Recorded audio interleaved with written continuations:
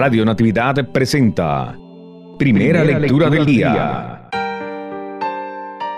Del libro del profeta Ezequiel, capítulo 47, versos 1 al 9 y 12.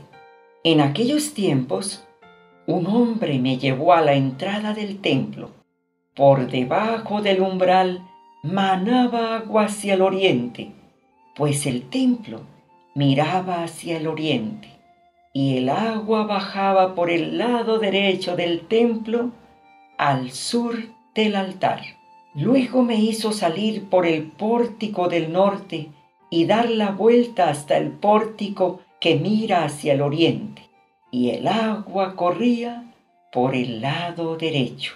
Aquel hombre salió hacia el oriente y con la cuerda que tenía en la mano midió 500 metros y me hizo atravesar por el agua que me daba a los tobillos. Midió otros 500 metros y me hizo pasar.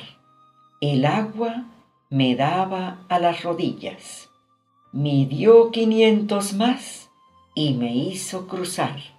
El agua me daba a la cintura.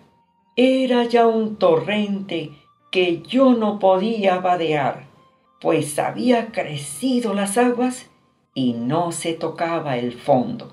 Entonces me dijo, ¿Has visto, hijo de hombre?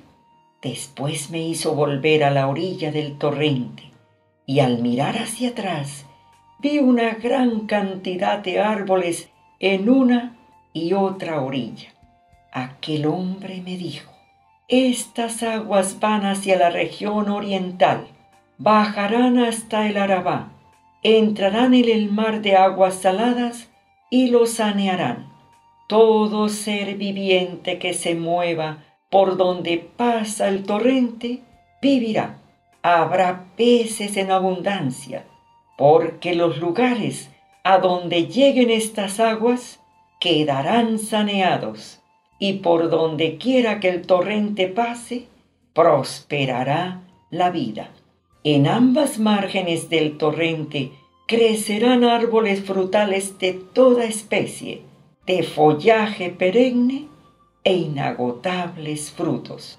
Darán frutos nuevos cada mes, porque los riegan las aguas que emanan del santuario. Sus frutos servirán de alimento y sus hojas de medicina. Palabra de Dios, te alabamos Señor.